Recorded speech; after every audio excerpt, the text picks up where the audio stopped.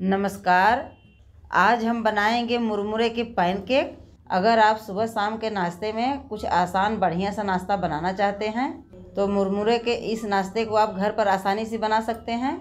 मुरमुरे के यह नाश्ता अगर आप घर पर बनाएँगे तो इसको सभी बहुत पसंद करेंगे, क्योंकि यह नाश्ता खाने में बहुत ही स्वादिष्ट होता है। तो चलिए हम नाश्ता बनाना शुरू करते हैं।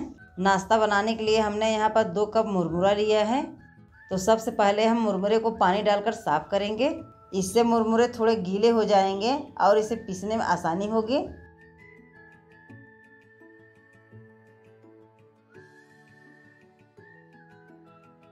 मुरमुरे को हमने पानी साफ़ कर लिया है। अब इसे हम छन्ने में डालकर छान लेते हैं, जिससे जो एक्स्ट्रा पानी है, वो पतीले में निकल जाए।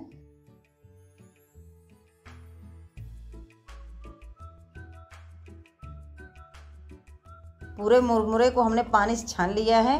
अब इसी तरह मुरमुरे को साइड में रख देते हैं।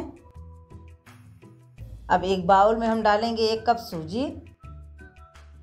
इसके बाद इसमें हम आधा कप फेटी हुई दही डालेंगे। दही हमने एकदम ताज़ा लिया है। अब सूजी में हम दही को अच्छे से मिला लेते हैं।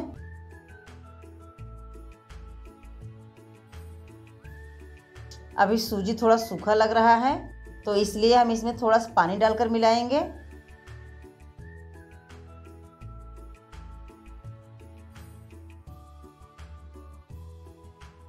सूजी में हमने दही अच्छे से मिला लिया है।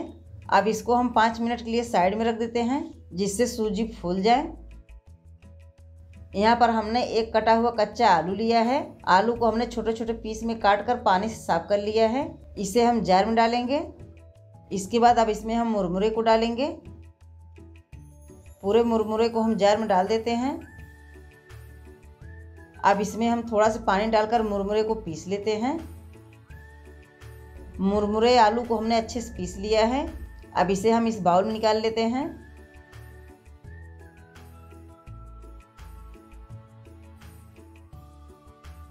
पाँच मिनट के बाद सूजी यहाँ पर अच्छे से फूल गया है। तो अब इसको भी हम जार में डालकर पीसेंगे। पूरे सूजी को हम जार में डाल देते हैं। अब इसमें हम लगभग आधा कप पानी डालकर पीस लेते हैं। सूजी हमने पीस लिया है।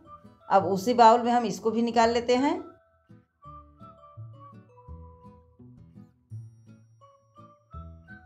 अब मुरमुरे में हम सूजी को अच्छे से मिला लेते हैं। तब इसमें हम बाकी की चीज़ों को डालेंगे।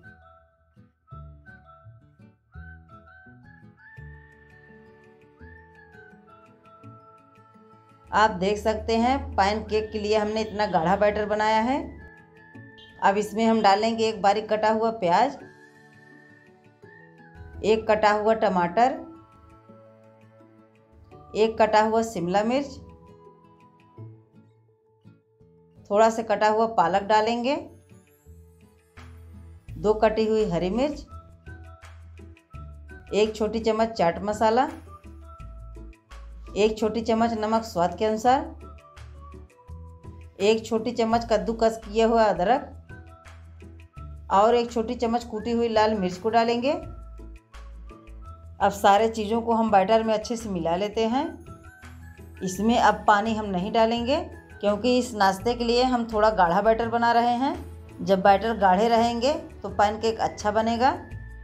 तीखा आप अपने हिसाब से कम या ज़्यादा कर सकते हैं। अगर आपको तीखा नहीं पसंद है तो मिर्च कम डालें।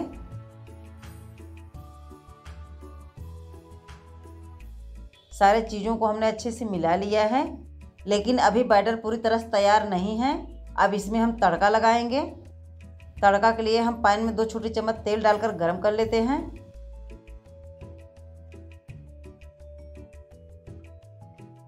तेल गरम हो चुका है।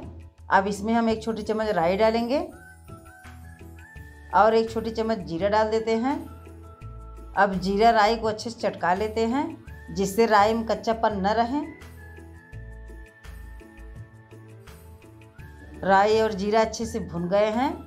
अब इसमें हम थोड़ा सा करी पत्ता डालकर भुनेंगे। करी पत्ता को हम केवल हल्का से भुनेंगे। अब ये तड़का पूरी तरह से तैयार है। अब इसे हम बैटर में डालकर मिलाएँगे।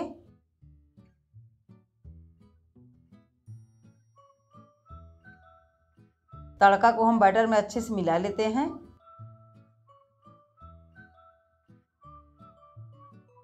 तड़का हमने बैटर में अच्छे से मिला दिया है। अब इसमें हम एक पाउच इनो डालकर मिलाएँगे। इससे नाश्ता जो है वो फूला फूला बनेगा। आप चाहें तो इनो की जगह बेकिंग सोडा भी डाल सकते हैं। लेकिन अगर बेकिंग सोडा डाल रहे हैं तो ज़्यादा नहीं, केवल आधी छोटी चम्मच डालें। इनो भी हमने अच्छे से मिला दिया है। आप देख सकते हैं, इस तरह से इतना गाढ़ा बैटर हमने बनाया है। अब ये बैटर पूरी तरह से तैयार हैं। अब इसका हम पैन केक बनाएँगे। पैन केक बनाने से पहले पैन में हम थोड़ा सा तेल लगाएँगे। पैन गरम हो गया है। अब इसमें हम थोड़ा सा बैटर डालकर फैलाएँगे। जितना बड़ा पैन है, उसी के बराबर हम बैटर डालकर फैला देते हैं।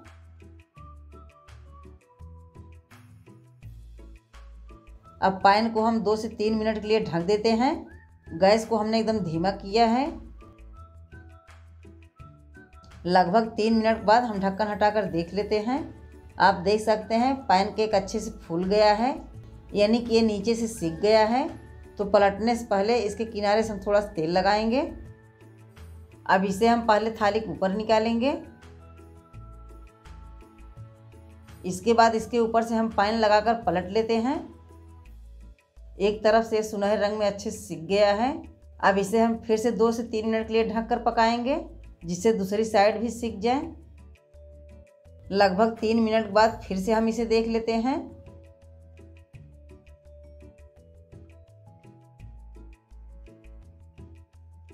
आप देख सकते हैं, ये दूसरी तरफ़ भी सीख गया है। यानी कि पहला पैन केक हमारा बनकर तैयार है। तो अब इसे हम प्लेट में निकाल लेते हैं।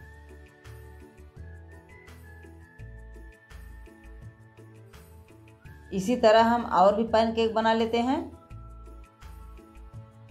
अगर आपके पास इस तरह का छोटा पैन नहीं है तो आप इस नाश्ते को नॉन स्टिक तवे पर भी बना सकते हैं, या फिर आपके पास अप्पे पैन हैं तो उसमें भी आप बना सकते हैं। एक नाश्ते को पकाने में पाँच से छः मिनट लग जाते हैं। आप इस नाश्ते को जब भी बनाएँ तो इसे धीमी आँच पर पकाएँ, क्योंकि धीमी आँच पर ये अंदर तक अच्छे से पक जाएँगे। अब इसको भी हम पहले थाली पर निकाल लेते हैं।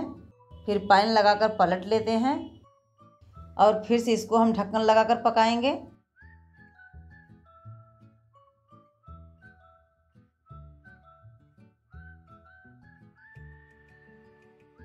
ये भी दोनों तरफ़ से अच्छे सीख गया है। अब दूसरा पैन केक हमारा बनकर तैयार है। इसे भी हम उसी प्लेट में निकाल लेते हैं। इसी तरह से हम पूरे बैटर का पैन केक बनाएँगे। एक एक करके हमने पूरे बैटर का पैन केक बना लिया है। उतने बैटर में हमने चार पीस पैन केक बनाया है। तो आप भी इस तरह से मुरमुरे के पैन केक घर पर बहुत ही आसानी से बना सकते हैं। इस नाश्ते को आप हरी चटनी, मूंगफली चटनी या फिर टोमेटो केचप के साथ भी खा सकते हैं। अब इसे हम तोड़कर आपको दिखाते हैं। तोड़ने के बाद आप देख सकते हैं पैन केक अंदर से फूले फूले कितने जालीदार बने हैं। इस तरह के नाश्ता आप घर पर किसी भी मौसम में बना सकते हैं। क्योंकि मुरमुरे और सूजी मार्केट में हमेशा मिल जाते हैं तो आप इस नाश्ते को जब चाहे तब बना सकते हैं।